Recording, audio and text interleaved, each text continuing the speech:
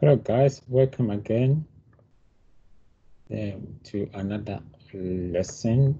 This time our lesson is going to be on text editing. We're going to look at three different functions here. Left function, right function, and um, len function. First of all, you need to understand these three keywords. String operation. String operation is the manipulation of a string. Yeah, just you can cut different parts of a string of the whole string. And then text string is a sequence of characters. For example, this password here is a text string. Uh, it's a sequence of characters. And macro is a small program that carries out instructions to perform a particular task. Sometimes there are one task that we perform regularly and we can create a macro, macro which can perform this task for us. So we're going to look at how to create macro. So let's look at um, the editing spreadsheets provide a number of string operations function that can be used to trim characters from the start or the end of a string of text. There are three main ones we're going to look at. The Left function, right function, and len function. So let's look at it. Uh, left function first. Let's say, let's look at, let's write this word here, spreadsheet, or anything.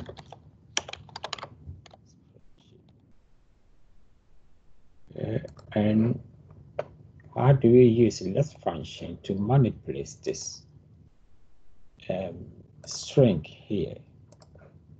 The left function, we use it to remove some string, some character from the left side of this text. So equal sign left. We, we highlight the string we want to manipulate and we want six characters from the left. And then we go spread there. Yeah. So that's it's very easy we can even we can either we can either highlight the string and use the cell referencing or we can write we can write the string itself but it should be in the code sheet should be in the code comma and then we want six the left is equal the same. Okay. We do the same thing with the right. Again, equal sign right function. We want from this part here, we want say five five characters from the right. If we got sheet there. Yeah, it's very, very simple. L-E-N means length. We use that to count how many characters a string has got in um, altogether. So equal sign, then we highlight it, and then we press enter for 11. So this is very easy you can use that to manipulate text. The next one we're going to look at is outline. Out outline. Um, outlining is one of the best way of making your data more manageable. Yeah, you can use it to automatically add subtotal or to group certain rows or columns together and also to hide some details that you do not need to see. Okay, before you create an outline, you need you, you need to create a subtotal to sort the, your, your data.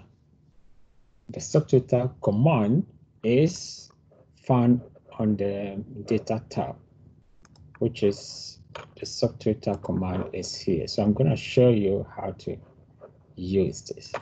So if, if you look at this data here, the spreadsheet, you got data for 2007 and then 2008. We might want to just manipulate or as um we might want to just um do something with the 2007 data without bothering ourselves with the 2008. For example, we might want to find the average rainfall in 2007, but we don't need to see the 2008 data.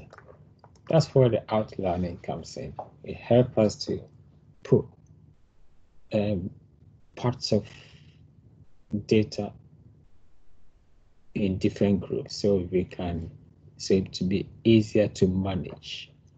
So to do that, we go to data, we go to subtotal. What have we got? Oh yes, we must always click in the data we're trying to ma manage. So data, then subtotal. This um, this is the columns. Here we need to choose which columns are which column do we want to put in a different group. This time I'm gonna put the year column. Yes, that's why I set the year there. And what do I want to do? Am I going to sum or count or find average? In the year column, I'm going to analyze the rainfall column. Yes, so I've taken the rainfall. What do I want to do with that rainfall? I want to find the average. So I'll take the average there. Yeah. So in the year column, and and I want to analyze the rainfall, the average rainfall. That's what I want. That's it. So I click OK. As you can see, the data has now been split up, put in different groups. We've got 2007 parts here, and I've got the average, got it here, and then 2008, got the average, and the average of total grand average is there. So I've got three set of information here. Here the average for each group, and then the grand average, and then everything all together. And now that's why I got this numbers here, one, two, three. If I click on number one, I got the grand average. I click on two, I got the average for each group and the grand average. I click on three and I've got the whole thing there. So that's how to use the outline. Yeah, now let's jump on to macro. Say macro is just a recorder which will record something we do all the time. So next time we are required to perform the same, the same task, we just call our macro to do it for us.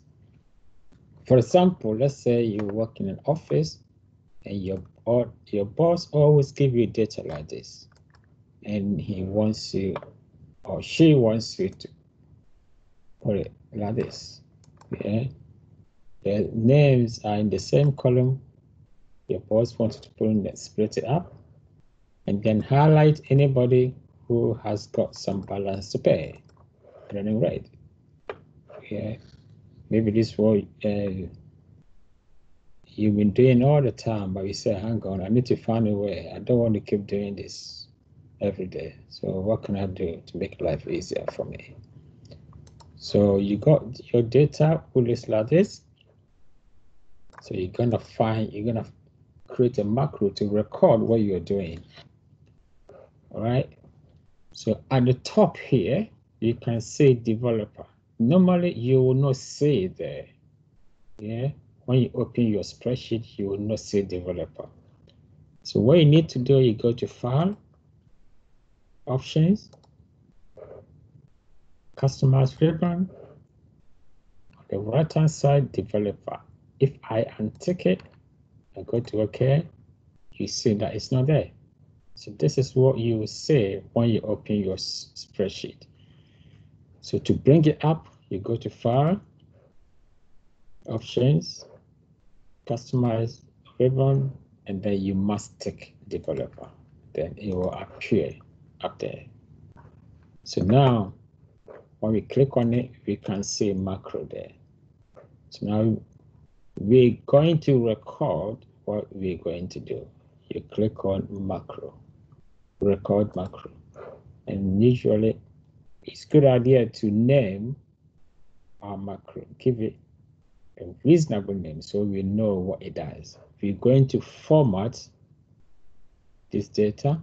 So let's call our macro formatting. Okay. The good thing about this is, is we can also give your macro a shortcut. Yeah, control and something.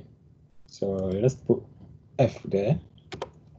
So when you press control F, it would perform the task for us. Then okay, we can also describe the macro what it does. Okay, so now it's recording. So what we do, let's insert another column. We want to call this one first name.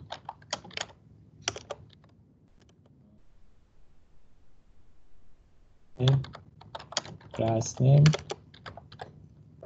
So now let's split this up. Data, textify, and delimited.